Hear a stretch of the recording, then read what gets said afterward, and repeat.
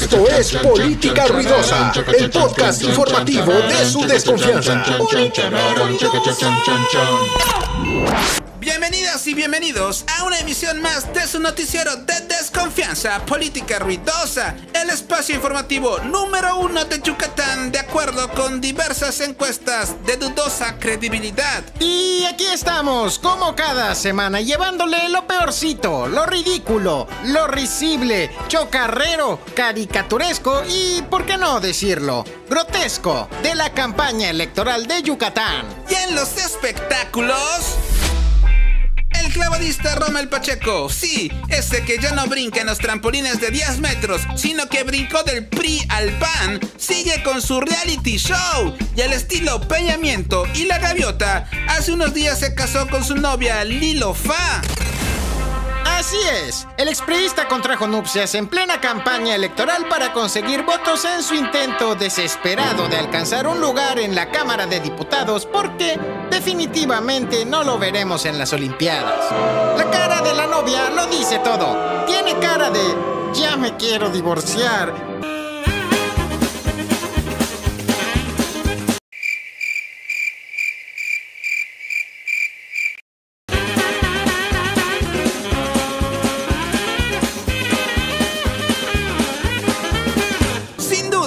Romel Pacheco se convirtió en el Samuel García yucateco. Es decir, se convirtió en un meme. Tienen mucho en común. Miren, los dos se casaron en pleno proceso electoral y por supuesto, les valió la pandemia. Además, sus parejas son influencers y pues a los dos les gusta hacer el ridículo en la campaña con bailes como estos. Juzgue usted mismo.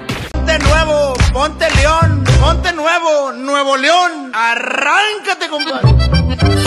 Celebremos a Navidad, Nuevo León. Todo va a estar mejor. I'm dead. You killed me. I'm dead now. Bitch, I'm a. Lamentable. Mientras Romel Pacheco juega a ser político, sus compañeros atletas están triunfando en el Mundial de Clavados en Tokio, evento al que no asistió porque prefirió hacer campaña. En fin, los suyos seguirán siendo los clavados. Sí, pero ahora los clavados al erario público. Y en otro tema, resulta que el candidato que le gusta irse de pedaleo en las ciclovías, Renan Barrera, y el priista que antes salía en el Chavo del Ocho, Jorge Carlos Ramírez Marín, se están peleando.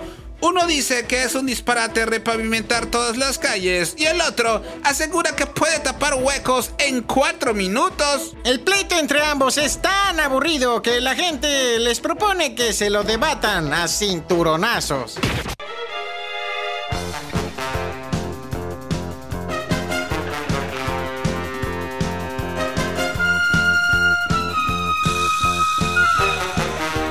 Y hoy, en el top 3 del perro oso de la campaña, un apuesto candidato del partido Redes Sociales Progresistas, Juan Efraín Miranda Ontiveros, quien quiere ser diputado federal en el Distrito 1, se tomó muy en serio eso de que la 4T hace puras maromas. Chequen la destreza para ridiculizarse en las redes sociales. Soy su amigo Juan Efraín Miranda Ontiveros.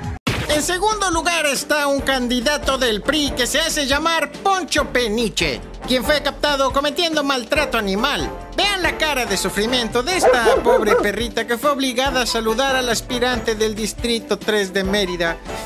Pobre, esperemos que esté bien y no se haya contagiado de sarna. Obvio, nos referimos a la suave lomito. Antes de pasar al primer lugar, tenemos una mención honorífica. Vean a Víctor Hugo Lozano Poveda, quien quiere ser diputado para crear leyes y es el primero en violarlas. Resulta que estacionó una moto con su publicidad en la ciclovía. Esperemos que la policía lo haya multado y que los ciclistas no voten por él.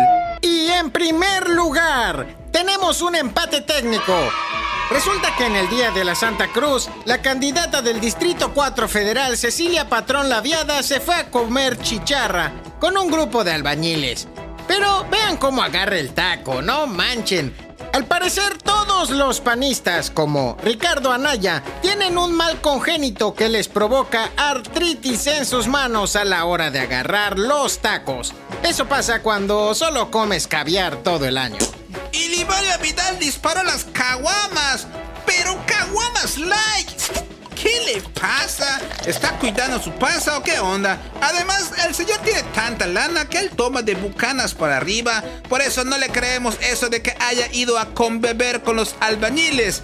Eso es más falso que su candidatura indígena. Cambiando radicalmente de tema, pues por fin están reparando el paso reprimido. Y MC Grillete nos tiene listo una melodía acorde a este memorable momento. Oigan, vamos todos a nadar. En el paso reprimido me quiero mojar.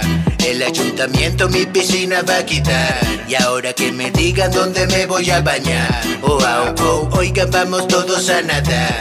En el paso reprimido me quiero mojar. El ayuntamiento mi piscina va a quitar. Y ahora que me digan dónde me voy a bañar. Cada vez que llueve en mi ciudad, un hermoso destino tú podrás visitar. Laguna Meridana 100% natural. Prometo que tus carnes vas a poder remojar. Todo mundo aquí se viene a deleitar. Diseño arquitectónico, talla internacional. Agua color turquesa que te va a hipnotizar. Verde color puerquesa que te va a enamorar. Ahora dicen que el gobierno va a ayudarme Que de buena fe una buena lana va a inyectarle. El paso reprimido dice para repararle A que conveniente solo para recordarle Que se acerca la campaña electoral Y que a los votantes solo quieren cautivar Me dicen que me calme que lo quieren elevar Y ahora ya no tengo donde mi ropa lavar Oh, oh, oh. No olvides compartir este video y darle like. También come frutas y verduras. Esto fue Política Ruidosa, el podcast informativo de su desconfianza. Política Ruidosa.